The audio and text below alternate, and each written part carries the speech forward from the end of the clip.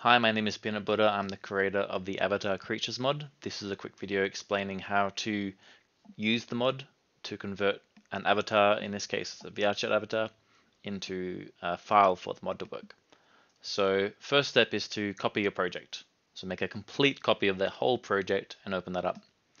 Next, you want to go into Thunderstore and open up your profile, like the location of your profile. Um, and that's pretty easy. You just go into Thunderstore like this, and you find locations, and you go browse data folder, or actually browse profile folder, and you open that up.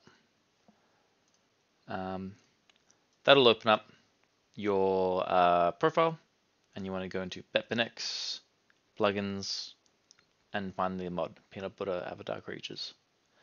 And here there's a bunch of files. The one that we care about is this Unity package. So this is the tool that you can use to export it.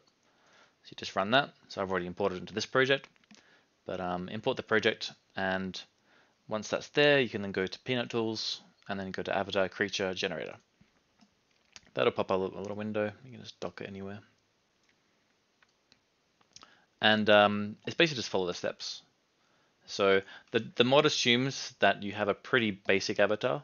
So you'll want to like uh, kind of simplify your avatar as much as you can. So get rid of particle systems, get rid of you know PhysBones, whatever game that you play, get rid of all that extra stuff. So I'll get rid of some particles, PhysBones, some accessories. You want to basically have you know just your avatar by itself. No accessories. Or you can have accessories, it probably will work, but for now we'll keep it simple. Uh, then you want to drag that into that slot. So it'll tell you if it's not ready yet, so maybe there's issues with some bones and stuff. Um, then you want to check some boxes if you, if you need to. So if you want to do like third person mode, you probably want to have that turned on. Um, there's a way to use an avatar as a default, check that on if you want to, whatever. Uh, then you use your Steam ID. So you just go to the website, find your Steam ID, copy the Steam ID 64 des, and it should be a 17 digit number. Then you want to enter in where your lethalcompany.exe file is, which for me is here. Um, so that'll, and it looks like this. So the mod relies on there being a folder called avatars. And that's where all of these asset bundles for all the players that you play with should be. So if you have all your friends, they've got their own avatars, then you want to put it inside of here. So for mine, for me, it's empty for now. Um, and then, yeah, make sure it's uh, ready to go and then click on generate. So what it does, as, as you can see in the list, it will take all of your, your renderers, it'll rename all of your FBX files, it'll rename your maps, so it supports albedo, smooth, normal, and emission. Um, and then it basically adds it into an asset bundle. And an asset bundle is a special name for basically just uh, a zip file glorified zip file. Um, it might fail the first time I've found that happen.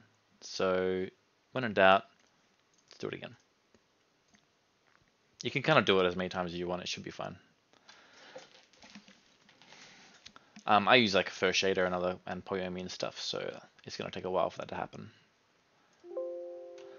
Uh, once it's happened, it should copy uh, the output into your Steam your Steam game folder into the avatars folder. Once it's there, then you can then send that to your friends, and uh, they they place it into the avatars folder. And then when you run the game with the mod, it should detect that automatically.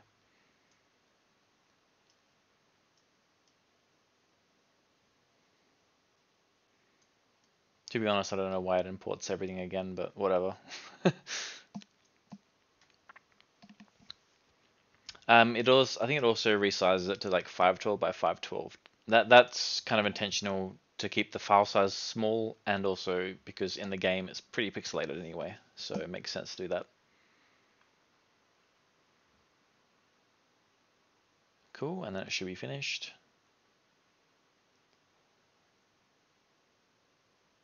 I guess it has to, it has to compile my first shader for some reason, whatever. Unity's kind of weird sometimes.